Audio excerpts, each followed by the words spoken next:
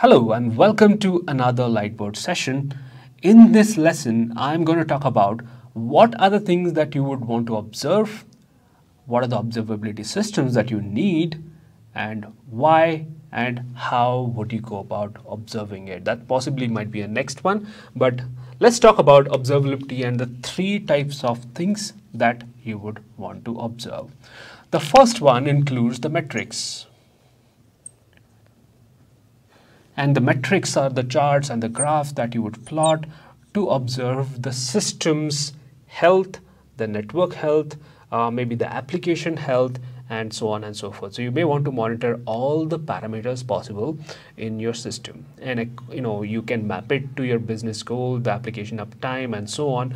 And the things that would matter, you would have to start plotting them. And generally, you would use a time series database to plot and to store the data, monitoring data from your systems. So the first thing that you would monitor is the metrics. The type of data that you would want, want to monitor would be metrics. And this is where you may have uh, tools such as Prometheus,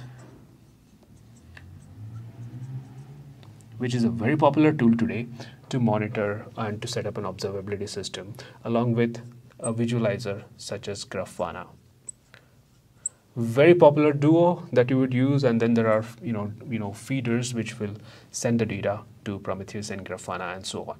So the first type of observability system that you need is the one which provides you with all these metrics.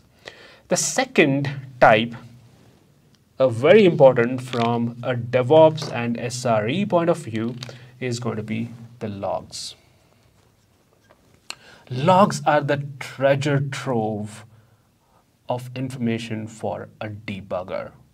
So when applications go down or if they're not behaving as expected or the systems have a problem, typically one of the things that I first look at is always the log files. Now, when you talk about the building and managing infrastructure at scale, it is not always possible to go and go, to each and every server and check the logs for it.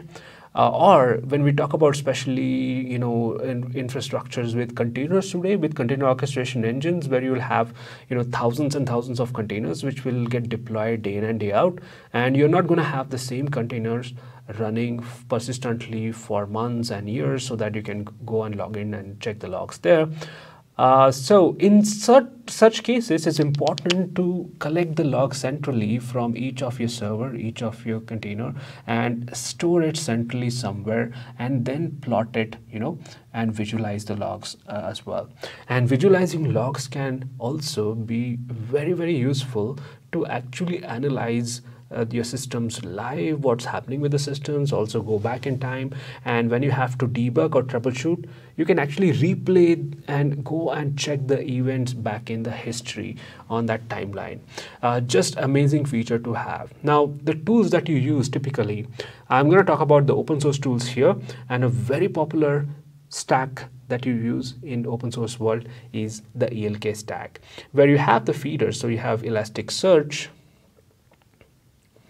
which stores all this information, which is basically indexing all the information. That's your Elasticsearch. And you have feeders like, you know, uh, Logstash or Kibana. And that's where the L of ELK stacks comes from. E for Elasticsearch, L for Logstash, K for Kibana. Just like how Prometheus and Grafana are you know work together most of the time, you will find Elasticsearch and Kibana working in tandem because Kibana is a specialized visualizer for Elasticsearch. It also works with few other things. Similarly, Grafana works with few other backends, many other backends actually, and then it helps you visualize the data. I'm going to show you the demonstration of both Grafana and Kibana, and uh, that would help you understand how this really works. So the second type of information and the things that you observe is the logs. And the third part of your observability helps you or would help you understand where the problem is, especially with microservices environment when things go wrong. Where is the problem? You should be able to point to that place or that application and these traces will help you do that. So traces give you basically the span information, how your packet or the application is traveling, how long it is taking in, let's say you have five services and uh, you know, they're working together and you have a workflow where this service talks to this, this one to this, and this one talks to this, this also talks to this, and this also talks to this one.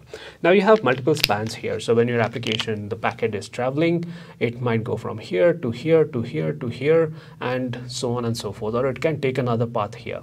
Now, how long it's taking? So when, let's say you have a problem like, oh, your application is slowing down, how do you find out where the problem is? Because, you know, uh, if you just look at this and find out that, you know, oh, it's taking 10 milliseconds and I don't know where the problem is then because, you know, you're just looking at the interval uh, that it hit here and then it traversed and possibly took this path or this path and went back, you know, and out. So that's the latency you're looking at. But where the problem is, you'll have to go and check this span first. Let's say this is taking two milliseconds. Uh, this is taking, uh, you know, again, one milliseconds. But this one, this particular span here has a problem and it's taking about seven milliseconds. Now you know where it is taking longer, uh, where you would have to go and optimize where, where the problem is. So once you look at, let's say, a trace, you can actually go and check the logs for that application or you can go and look at the metrics you have collected for that application either with Kibana or with Prometheus. It is possible to add the metrics here, you know, both places as well. Now, from the observability point of view, these are the three major things and the type of data that you would observe and monitor. First is the metrics, system, network, application. Everything, you can generate the metrics for each. Logs, application, system logs here. Um, you know, anything that you run inside your infrastructure which generates the logs, you may want to just index it centrally and visualize it. Traces mainly is part of the application performance monitoring and you may have to modify your application a little bit to send the traces out to certain system. There are many, there's the open system, open tracing infrastructure. There are tools like Jaeger, uh, which help you visualize your traces as well. So next thing that I do after talking about the theory is when I show you the demos, I'm going to demonstrate this with Prometheus and Grafana, Elasticsearch ELK stack, and the open tracing system, one tool with one tool that is Jaeger. Right, so I hope this helped you understand what all would you want to observe, why what is it going to give you, the application tracing, the logs, you know, and uh, the metrics, right? And hope this was useful.